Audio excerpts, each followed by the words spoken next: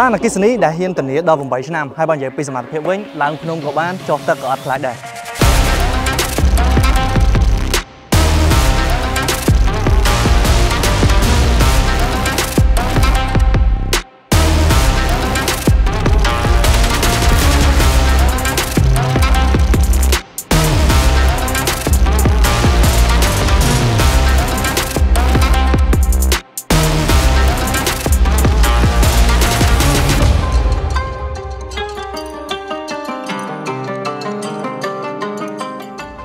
ជំរាបសួរខ្ញុំបាទស៊ីឡុងស្វាគមន៍មកកាន់វីដេអូថ្មីអញ្ចឹងនេះគឺជាឡាន SUV អគ្គិសនីបែបផ្សងព្រេងដែលមានសមត្ថភាពខ្លាំងមួយហើយក៏ទំនើបដែរ អញ្ចឹងឈ្មោះរបស់វាគឺ iCa EQ3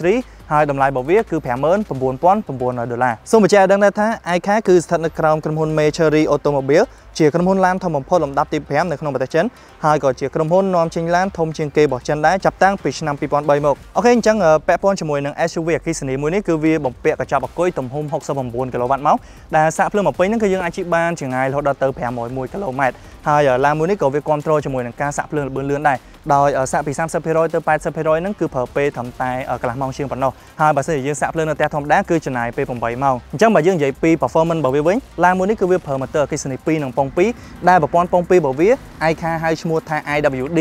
ដែលតិចទៀតខ្ញុំក៏នឹងសាកជាមួយនឹងប្រព័ន្ធពង2របស់វាដែរហើយបើនិយាយពីកម្លាំងវិញគឺ275សេសនិងកម្លាំងរមួលគឺ360 Newton m អ្វីដែលសំខាន់នឹងខ្ញុំចាប់អារម្មណ៍ខ្លាំងនៅលើឡាន SUV អគ្គិសនីមួយនេះគឺពាក់ព័ន្ធជាមួយនឹង driving mode របស់វាដោយសារតែ driving mode របស់វាមានរហូតដល់ទៅ9 drive mode ច្រើនខ្លាំងមែនទែនអញ្ចឹងនៅក្នុងវីដេអូនេះខ្ញុំក៏នឹងតេស្តជាមួយនឹងមុខងារ drive mode របស់វាខ្លះៗដែរអញ្ចឹងចាំតាមដានទាំងអស់គ្នានិយាយរួមទៅឡានអគ្គិសនី EQ3 នេះវាជាឡានបែបផ្សងព្រេងដែលយើងអាចជិះបានគ្រប់ស្ថានភាពផ្លូវមិនថាផ្លូវក្នុងក្រុងក្រៅក្រុងហើយសូម្បីតែចុះទឹកព្រោះថា EQ3 នេះវាមានកម្ពស់ពីបាតឡានទៅដីហ្នឹងគឺ170មីលីម៉ែត្រហើយមានសមត្ថភាពអាចចុះទឹកបានជម្រៅដល់600មីលីម៉ែត្រឯណោះអញ្ចឹងឡានអគ្គិសនីអាចចុះទឹកជម្រៅ600មីលីម៉ែត្រគឺពិតជាមិនធម្មតានោះទេសួរថាឡានអគ្គិសនីចុះទឹកអញ្ចឹងមានបញ្ហាអីអត់ប្រកាសជាអត់ទេព្រោះថា EQ3 នេះវាមានប្រព័ន្ធការពារជម្រាបទឹកហើយគេបានការពារទៅលើប្លុកអគុយវាដើម្បីធានាបាននូវសុវត្ថិភាពខ្ពស់តែម្ដងជាក់ស្ដែងដូចឥឡូវនេះកំពុងតែចូលដល់ខែភ្លៀងផងយើងរត់តែលែងបារម្ភរឿងជីកាត់ទឹកបើសិនជាមាន EQ3 នេះអូខេអញ្ចឹងបើយើងនិយាយពីការរចនាទៅលើរូបរាងផ្នែកខាងក្រៅរបស់វាដូចបងប្អូនឃើញអញ្ចឹងការរចនារបស់វាគឺ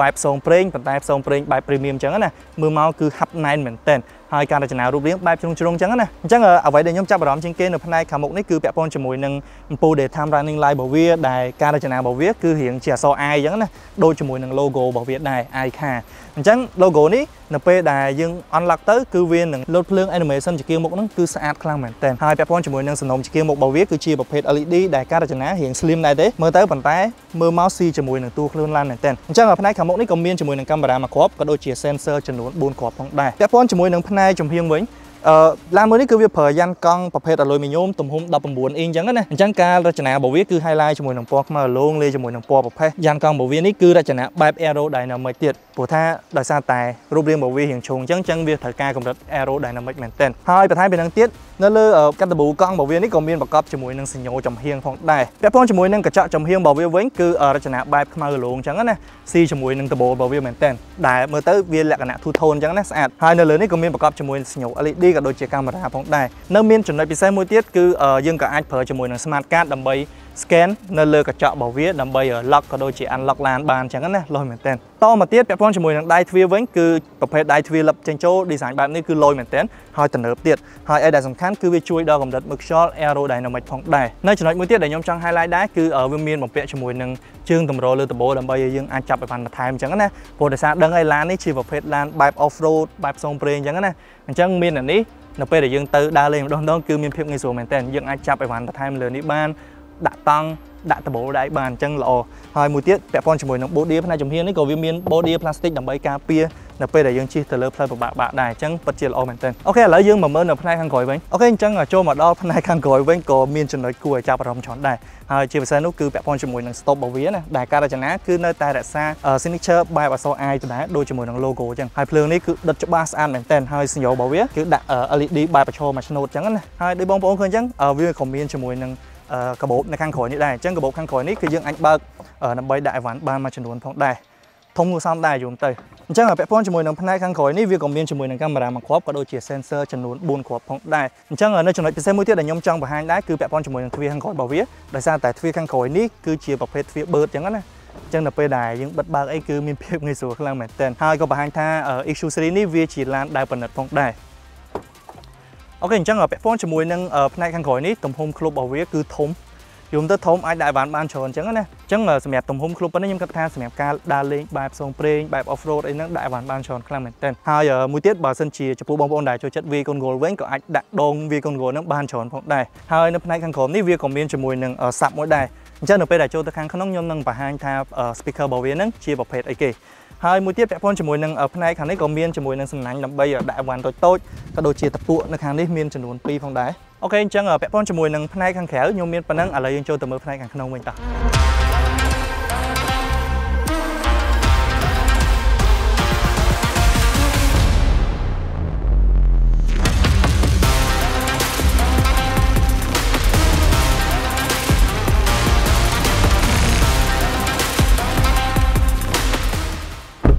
អូខេអញ្ចឹងចូលមកដល់ផ្នែកខាងក្នុងនេះការរៀបចំរបស់វាគឺ clean ស្អាតមែនទែនហើយយើងមើលទៅប៉និតហើយក៏ទំនើបដែរហើយអីដែលខ្ញុំចាប់អារម្មណ៍ជាងគេនោះគឺពាក់ព័ន្ធជាមួយនឹងអេក្រង់ផ្នែកកណ្ដាលនេះអញ្ចឹងអេក្រង់ផ្នែកកណ្ដាលនេះគឺធំខ្លាំងមែនទែនទំហំរបស់វារហូតដល់ទៅ15.6អ៊ីងអញ្ចឹងណាអញ្ចឹងដំបូងខ្ញុំគិតថាអេក្រង់របស់ Tesla Model 3ដែលស៊េរីចុងក្រោយហ្នឹងវាធំជាងគេហើយសម្រាប់ឡានអគ្គិសនីដែលមានលក់នៅស្រុកខ្មែរប៉ុន្តែជាក់ស្ដែង iCar EQ3 នេះ ធំជាង Tesla Model 3នឹងទៀតដោយសារតានេះ15.6អ៊ីងហើយ Tesla នោះគឺ15.4អ៊ីងអញ្ចឹងអានេះធំជាងទៀតហើយដែលសំខាន់គឺយើងអាចបញ្ជាមុខងារទាំងអស់នៅលើអេក្រង់នេះជាក់ស្ដែងមកសំបីតែផ្លិតទឹកកញ្ចក់បើកទ្វារបើកគ្លុបក្រោយបើកដបូ sunroof អីហ្នឹងគឺយើងអាចបញ្ជាបាននៅលើនេះទាំងអស់ហ្មងហើយអីដែលសំខាន់ទៅទៀតនោះអ្វីដែលខ្ញុំពេញចិត្តជាងគេគឺពាក់ព័ន្ធជាមួយនឹង dry mode ដូចខ្ញុំបានប្រាប់អញ្ចឹងអញ្ចឹង dry mode គឺយើងអាចស្រេ បជាលើកងនេះបានអញ្ចឹងណាអញ្ចឹង dry mode របស់វាមានរហូតដល់ទៅ9អញ្ចឹងទី1គឺ eco ពាក់ព័ន្ធជាមួយនឹងការ eco នេះគឺយើងប្រើបែបសំចៃអញ្ចឹងណាសម្រាប់ការប្រើក្នុងក្រុងអញ្ចឹងទៅហើយបន្តមកទៀតគឺ normal normal នេះគឺ setting វាធម្មតាទាំងអស់ set វាកញ្ចាក់មកមិនគឺអញ្ចឹងសម្រាប់យើងជិះធម្មតាអញ្ចឹងទៅហើយមួយទៀតគឺ sport sport នេះគឺសម្រាប់យើងចង់បង្កើនសន្ទុះលបឿនអីរត់ទៅតាមខេត្តទៅតាមអីដាក់ sport នេះគឺត្រូវហើយហើយមួយទៀតវាមាន custom ដែរអញ្ចឹងយើងអាច custom បានពាក់ព័ន្ធជាមួយនឹងប្រព័ន្ធ boom ចកោតអីចឹងទៅយើងអាច custom បានហើយមួយទៀតគឺ all road all road នេះគឺសម្រាប់ផ្លូវដែលអាដេដប់វាអត់ស្មើគ្នាអញ្ចឹងណាអញ្ចឹងយើងដាក់ all road នេះទៅហើយមួយទៀតគឺ slippery slippery នេះគឺសម្រាប់ផ្លូវសើមឬល្អិលអីចឹងទៅអញ្ចឹងនៅពេលដែលមានភ្លៀងប្រើអាមួយនេះគឺត្រូវហើយហើយមួយទៀតគឺ beach beach នេះសម្រាប់ប្រើលើខ្សាច់អញ្ចឹងណា ហើយបន្ថែមពីហ្នឹងក៏មានម៉ាត់ឌីម៉ាត់ឌីនេះគឺយើងសម្រាប់ប្រើនៅលើផ្លូវដែលមានភក់ដែលវាមានភក់ស្អិតស្អិតអីចឹងទៅហើយមួយទៀតគឺបាំភីចុងក្រោយគេគឺបាំភីហ្នឹងគឺសម្រាប់ដែលផ្លូវអាលាក់ខ្លាំងដែលមានចំហុកធំធំអញ្ចឹងណាអញ្ចឹងមានរហូតដល់ទៅ9 driving mode ច្រើនខ្លាំងមែនទែនបន្ថែមពីហ្នឹងទៀតនៅពេលដែល អឺយើងរើស driving mode ហើយគឺវានឹងបង្ហាញពីព័ត៌មានផ្នែកពាក់ព័ន្ធជាមួយនឹងការ off road ហ្នឹងឲ្យយើងឃើញនៅលើអេក្រង់នេះទៀតអញ្ចឹងក្នុងហ្នឹងវាមានដូចជាទិសដៅលេខការជើងត្បូងអញ្ចឹងទៅហើយវាមានរយៈកម្ពស់វាមានមុំឡានឡានយើងផ្អៀងទៅមុខទៅក្រោយទៅមុខទៅក្រោយឆ្វេងស្ដាំអីគឺវាមានបង្ហាញទាំងអស់ហើយបន្ថែមពីហ្នឹងក៏វាមានបង្ហាញជាមួយនឹងសពីតខ្យល់កង់ក៏ដូចជាសីតុណ្ហភាពកង់ដែរ ល្អមែនតើសម្រាប់ការ off road តចូលមកផ្នែកខាងក្រោមនេះគឺជាប្រព័ន្ធម៉ាស៊ីនត្រជាក់ពីរតំបន់អញ្ចឹងណាអញ្ចឹងយើងអាចសេរីសីតុណ្ហភាពដាច់ដោយឡែកបានរវាងអ្នកបើកបោកក៏ដូចជាអ្នកដំណើរខាងមុខហើយនៅក្នុងហ្នឹងវាក៏មានជាមួយនឹងប្រព័ន្ធប្រសិទ្ធខ្យល់ដែរអញ្ចឹងវាជួយឲ្យការប្រព្រឹត្តប្រចាំថ្ងៃរបស់យើងហ្នឹងវាកាន់តែល្អអញ្ចឹងទៅតមកទៀតប្លុកផ្នែកកណ្ដាលនេះគឺវាមានជាមួយនឹង wireless charge អញ្ចឹងយើងអាចដាក់សាកថ្មទូរស័ព្ទប្រើខ្សែបានហើយវាមានកន្លែងដាក់កៅទឹកពីរក៏ដូចជាអានេះជាប្រអប់ cool box អញ្ចឹងណាអញ្ចឹងក្នុងនេះយើងអាចដាក់ class A ទឹក class A បាន ហើយផ្នែកខាងក្រោមនេះវិញក៏មានជាមួយនឹងរុនសាកភ្លើង USB A និង USB C ហើយក៏មានប្លុកដាក់អីវ៉ាន់មួយចំនួនដែរតមកផ្នែកដៃចកោនេះវិញដៃចកោនេះគឺខ្ញុំពេញចិត្តច្រើនដោយសារតែការរចនារបស់វាចេញមកគឺ premium មែនទែនហើយវាការរចនារបស់វាគឺតូចចឹងណារៀងជាអក្សរ D ទៀតស្រួលកាន់ហើយស្រួលបត់បែនដោយសារតែវាជាប្រភេទ electronic ហើយស្រោបដោយស្បែកហើយពណ៌នេះគឺជាប្រភេទពណ៌បៃតងចាស់អីចឹងណាអានេះពណ៌យ៉ាងស្រាលដែរទេហើយវាមាន highlight ជាមួយនឹងធ្នេពណ៌ទឹកក្រូច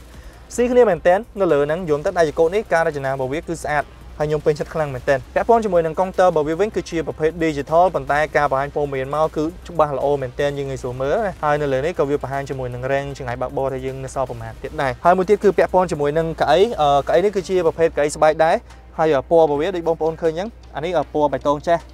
ដូចជាមួយនឹងដៃចកោតដែរវាមាន highlight ជាមួយនឹងធ្នេដេពណ៌តក្រូចហើយពាក់ព័ន្ធជាមួយនឹងកៅអីនេះគឺ highlight two tone ពណ៌ខ្មៅលេងមួយពណ៌បៃតងចាស់អីចឹងទៅអញ្ចឹងពាក់ព័ន្ធជាមួយនឹងកៅអីនេះដែរក៏យើងអាចបើកជាមួយនឹងមុខងារ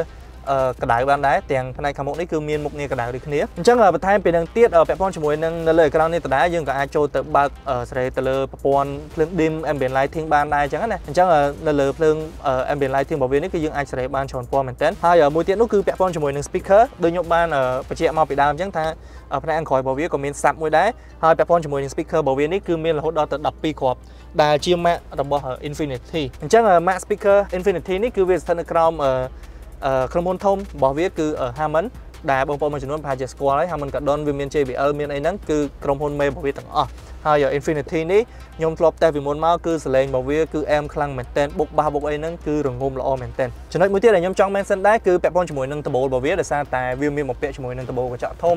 panoramic sunroof ដែលយើងអាចចុចបើកអូតូបានអញ្ចឹងណាអញ្ចឹង slide រហូតដល់ដល់ខាងក្រោយធំខ្លាំងមែនទែនចំណុចមួយទៀតពាក់ព័ន្ធជាមួយនឹងការ design ដែលខ្ញុំពេញចិត្តខ្លាំងដែរគឺកន្លែងនេះ កន្លែងដៃកដាលនេះដោយសារតែដូចខ្ញុំបានបញ្ជាក់មកពីខាងដើមអញ្ចឹងថា SUV អគ្គិសនីមួយនេះគឺវាផ្ដោតជាមួយនឹងការ off road ក៏ដូចជាបើកផ្សងព្រេងអញ្ចឹងណាអញ្ចឹងការ highlight ការរចនារបស់វានេះគឺខ្ញុំពេញចិត្តខ្លាំងមែនទែនហើយដូចកន្លែងទ្វារដៃទ្វារកន្លែងនេះក៏មានដាក់ជាមួយនឹងខ្ចៅមកខាងក្រៅនឹងដែរយន្តទៅគឺស្អាតហើយមើលទៅគឺ premium វាដាក់ចឹងមែនប៉ុន្តែមើលទៅគឺ premium មែនទែនចំណុចតូចមួយទៀតដែលខ្ញុំចង់បញ្ជាក់ដែរគឺពាក់ព័ន្ធជាមួយនឹងកលឹះទ្វារអញ្ចឹងកលឹះទ្វាររបស់វាគឺប្រើប៊ូតុងចុចចឹងណា ចុចបើកអូតូយំទៅគឺងាយស្រួលខ្លាំងមែនទែនអូខេអញ្ចឹងពាក់ព័ន្ធជាមួយនឹងផ្នែកខាងមុខនេះខ្ញុំមានប៉ុណ្នេះឥឡូវយើងចូលទៅមើលផ្នែកខាងក្រោយវិញតោះអូខេអញ្ចឹងចូលមកដល់ផ្នែកខាងក្រោយនេះវិញក៏ទលាដែរដូចបងប្អូនឃើញអញ្ចឹងខ្ញុំ1.8ម៉ែត្រអញ្ចឹងណាកន្លែងដាក់ជើងអីគឺស special មែនទែនហើយកន្លែងដាក់ជើងរបស់វាគឺរៀបស្មើអញ្ចឹងអីបើសិនជាមនុស្សធំអីគឺយើងអាចធ្វើបាន3នាក់មកមានផាសុខភាពមកហើយពាក់ព័ន្ធជាមួយនឹងក្បាលលើនេះក៏អត់ទៅដែរអញ្ចឹងកៅអីរបស់វានេះគឺ highlight ពណ៌ដូចជាមួយនឹងកៅអីខាងមុខដែរជាប្រភេទស្បែកដែលទន់មែនទែនហើយ ពណ៌របស់វាគឺបៃតងចាស់ highlight ជាមួយនឹងពណ៌ខ្មៅមានធ្នើដេពណ៌តក្រូចអញ្ចឹងណា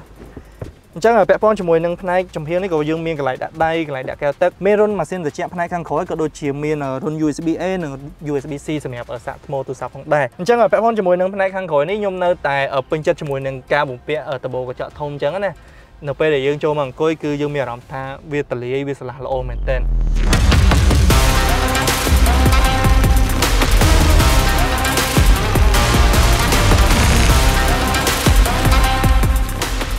អូខេបងប្អូនទាំងគ្នាអញ្ចឹងឥឡូវនេះខ្ញុំកំពុងតែបើកសាកបងជាមួយនឹងឡាន iCar EQ3 អញ្ចឹងឥឡូវនេះកំពុងតែនៅលើផ្លូវលំអញ្ចឹងណាអញ្ចឹងខ្ញុំចាប់អារម្មណ៍ខ្លាំងបំផុតពាក់ព័ន្ធជាមួយនឹងប្រព័ន្ធជើងក្រោមរបស់វាដោយសារតែដូចខ្ញុំបានបញ្ជាក់មកពីដើមអញ្ចឹង EQ3 នេះគឺវាប្រើប្រព័ន្ធពង2វៃឆ្លាតដែល iCar ហៅថា IWD ដែលវាដំណើរការដោយបែងចែកកម្លាំងទៅតាមកង់ណាមួយដែលចាំបាច់ដែលត្រូវការអញ្ចឹងណា អញ្ចឹងបើសិនជាកង់ណាមួយដែលវាត្រូវការកម្លាំងវានឹងបញ្ជូនទៅបើសិនជាអត់ទេវានឹងអត់បញ្ជូនទៅទេអញ្ចឹងអានេះវាធ្វើការវៃឆ្លាតហើយមួយទៀតពាក់ព័ន្ធជាមួយនឹងកម្រិតបូមនៅពេលដែលយើងជិះនៅលើផ្លូវអាលាក់ផ្លូវអត់ស្មើអញ្ចឹងគឺតូនល្អមែនតើមានអារម្មណ៍ថា comfort ហើយយើងជិះឡាននេះអញនិយាយបានថាយើងជិះ off road ដោយយើងអត់ចាំបាច់ប្រឹងគឺយើងជិះបែប relax មែនតើហើយដូចខ្ញុំបានបញ្ជាក់ដែរថាឡាននេះវាមាន driving mode រហូតដល់ទៅ9 អញ្ចឹងសម្រាប់ផ្លូវអត់ស្មើផ្លូវកហុកទៀតអាចដាក់ជាមួយនឹងមុខងារ all road បានអញ្ចឹងសម្រាប់ការបើកបោ off road ជាមួយនឹងឡានមួយនេះខ្ញុំគិតថាវាមានអារម្មណ៍ថាធូរហ្មងបើកទៅគឺ smooth មែនទែនដោយសារតែយើងអត់ប្រឹងណាហើយណាមួយវាជាឡានអគ្គិសនីទៀតដំណើរការរបស់វាគឺយើងជិះទៅគឺ smooth មែនទែន អូខេអញ្ចឹងសម្រាប់ការបើកបននៅលើផ្លូវខ្នល់ផ្លូវកស៊ូវិញគឺ smooth មែនទែនអត់ចាំបាច់និយាយទេអឺព្រោះដោយសារតែវាជាឡានអគ្គិសនីហើយណាមួយប្រព័ន្ធជើងក្រោមរបស់វាយើងជិះទៅគឺ comfort មែនទែនហើយបើយើងនិយាយពី performance វិញអឺឡាននេះគឺវាប្រើ motor អគ្គិសនី2កម្លាំងរបស់វា200សេសជាងអញ្ចឹងជាន់ស្ទុះហើយណាមួយវាមាន sport mode ទៀតអញ្ចឹងនៅពេលដែលកាច់ចូល sport mode ទៅជាន់ឡើងជាន់ឡើងមក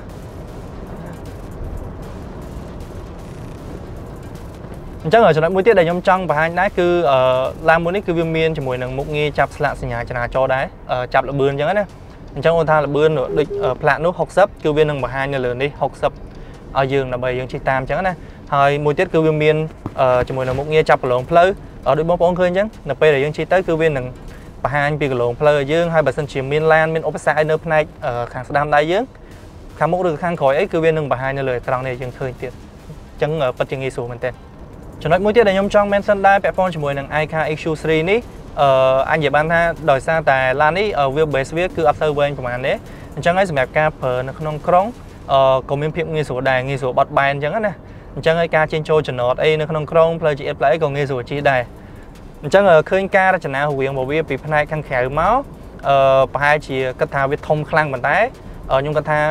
EQ3 នេះគឺអត់ធំខ្លាំងទេល្មម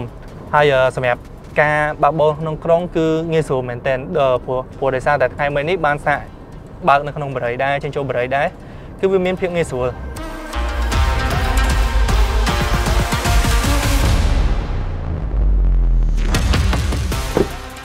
អូខេអញ្ចឹងសរុបមកវិញនេះគឺជាអ្វីដែលបងប្អូនគួរដឹងពីឡានអគ្គិសនី iCa EQ3 អញ្ចឹងចំពោះខ្ញុំផ្ទាល់ខ្ញុំគិតថាវាជាឡានអគ្គិសនីដែលមានការរចនារូបរាងផ្នែកខាងក្រៅគួរឲ្យចាប់អារម្មណ៍បំផុតមួយហើយកាប៊ីនខាងក្នុងរបស់វាក៏ទំនើបដែរ option ដែលដាក់មកហ្នឹងសុទ្ធតែចាំបាច់ហើយអីដែលសំខាន់កាប៊ីនខាងក្នុងរបស់វាគឺ premium មែនទែន